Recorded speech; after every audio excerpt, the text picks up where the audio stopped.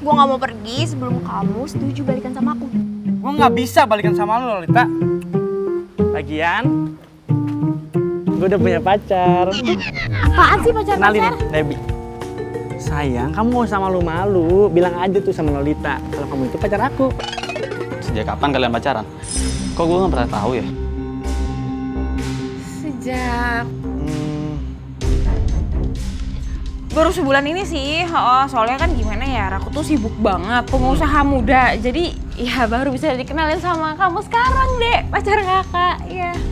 Wih, hebat banget sih Kak Debbie. Pokoknya aku dukung deh hubungan kalian berdua. lo harus jauhin Debbie. Karena Debbie cuma harus pilih gue. Gue gak nyangka ya sama lo, lo sepicik itu. Salah dong gue selama ini nganggep lo sahabat. Gue ngelakuin ini karena gue sayang sama lo, Deb. Gue nggak mau Rakung ngerebut lo dari gue. Ya, udah cukup.